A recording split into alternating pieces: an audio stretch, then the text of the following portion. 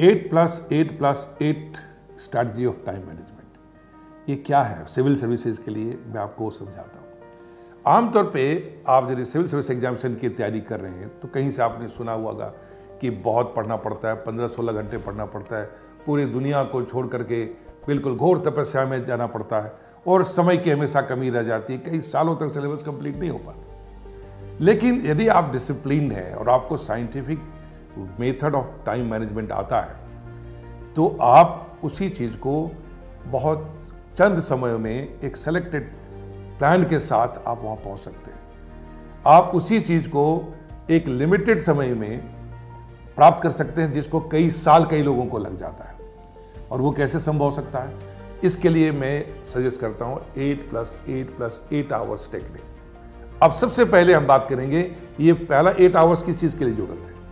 जिस चीज़ को सबसे ज़्यादा नेग्लेक्ट कर दिया जाता है, वो है कि यदि पढ़ाई करना है आईएएस बनना है तो नींद को छोड़ दो।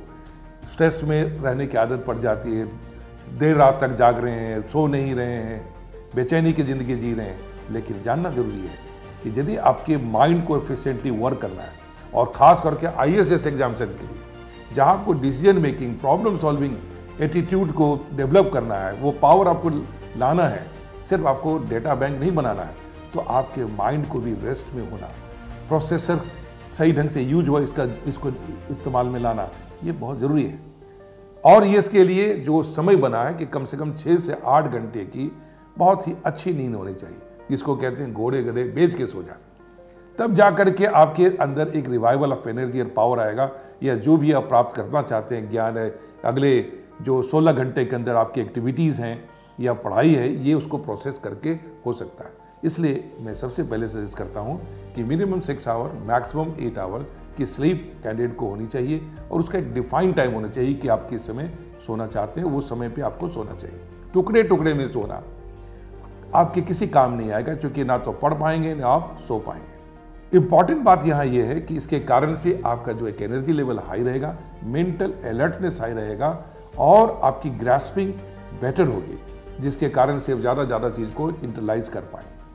दूसरी इंपॉर्टेंट बात है, वो ये कि अगला, जो छः से आठ घंटे का टाइम और बचता है, जिसको ब्रॉडली मैंने एट आवर्स रखा है, उसके लिए आपकी डेली एक्टिविटीज़ हो सकती हैं।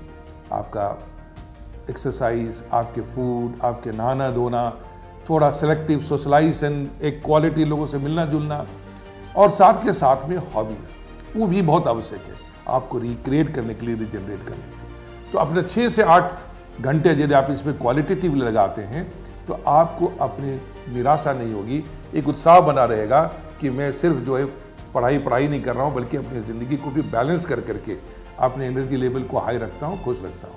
और बाकी जो समय आठ घंटे का कमिटेड यदि आपको देने की आदत पड़ जाए तो मैं आपको कहता हूँ कि यदि आपको 2023 का एग्ज़ाम देना है, मान लीजिए आगे अभी दस ग्यारह महीने बचे हुए हैं तो यदि आपने आठ घंटे का एक कंसिस्टेंट एफर्ट बनाने की आदत डाली तो शायद आपको कभी भी नाइन्थ आवर की ज़रूरत नहीं पड़ेगी। बाकी है कि यदि मन लग रहा है और यदि अपने जो समय है एक्टिविटीज़ का छः आठ घंटा जो हमने छोड़ा है, उससे निकाल करके यदि मन लग रहा है तो आठ से दस कर लें।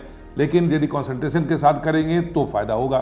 तो वो आप कर सकते हैं। अदरवाइज़ यदि आपके मन में कहीं ये डिस्प्रेशन है कि आई के पढ़ना है तो पहले गिनती करना शुरू कर गया कि 12 घंटा 10 घंटा पढ़ेंगे तो आईएएस बनेंगे।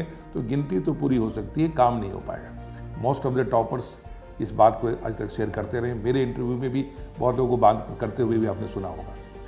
जहाँ तक टोटल प्रोसेस की बात है कि आठ घंटे के अंदर में यदि आपके पढ़ाई करने का स्टाइल जो है, सिर्फ़ ये है कि आप सिर्फ़ पढ़ते जा रहे हैं, पढ़ते जा रहे हैं मोटी मोटी किताबें ख़त्म करते जा रहे हैं तो वो आपको कहीं लेके नहीं जाएगा। और इसीलिए बेटर है कि छोटे छोटे स्लॉट्स बनाएँ।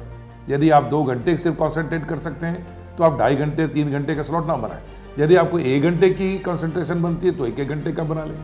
लेकिन आइडियली यदि दो दो घंटे का हम चार स्लॉट बनाएँ तो उसमें क्या होगा कि दो घंटे के अंदर डेढ़ घंटा पढ़ना चाहिए कॉन्सेंट्रेट करके पढ़ना चाहिए। आपने जो रिसोर्सेज आइडेंटिफाई किया उसके साथ आप पेन ले करके मार्क करते हुए अंडरलाइन करते पढ़िए।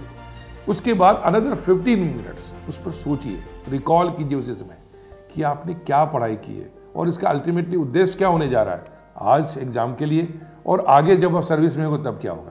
इसके लिए आप सिलेबस को यदि साथ रखते हैं पिछले इस दस साल के क्वेश्चन साथ में हैं तो आपको वो डायरेक्शन मिलेगा कि इसमें रेलिवेंट क्या चीज़ इन्फॉर्मेशन है और उसमें इस तरह के क्वेश्चन यदि बनेंगे तो कैसे आंसर है?